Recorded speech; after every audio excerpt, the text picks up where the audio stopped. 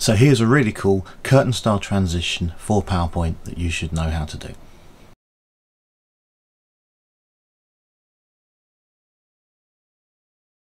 If you'd like to know how to make that transition, watch this video and I'll show you how to do it.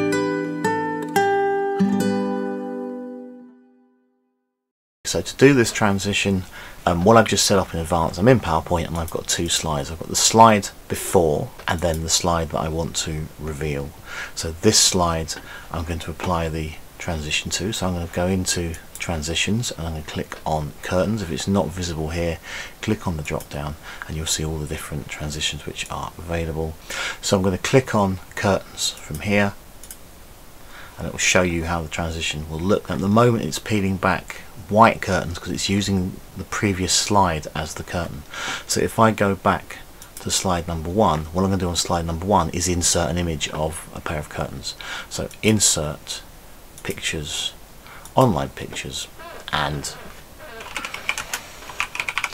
let's look for a nice red curtain. Let's go with that one there and let's insert that and then I just need to stretch it out to make it fit the screen.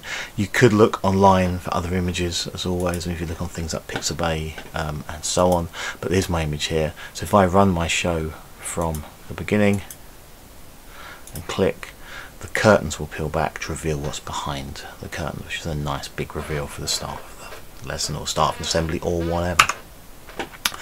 Uh, you can do some other fun stuff on here as well. So you could put a, a, school logo on here. You could put some messages or some words on here. So I'm just going to take uh, a school logo. I'm just going to paste that onto the screen like so. Let's put that in the middle. There we go. Go in the design. I don't need that. Um, and again, if I do my slideshow from beginning, we now have the school badge what's behind the curtain we can then click and the curtain pulls back to reveal what's hiding behind the curtain there. So nice simple transition which looks quite cool not particularly complicated to do. Obviously lots of different ways you could use that for revealing things at the start of a lesson school assemblies and such like. Um, again always have a look through all these. Lots more transitions than there ever used to be. There are loads that are worth having a little play with if you haven't played with these before. Um, just click on them and see what they do. I'll do some more videos about the rest of these later on. So thank you for your time. I hope you found that video useful.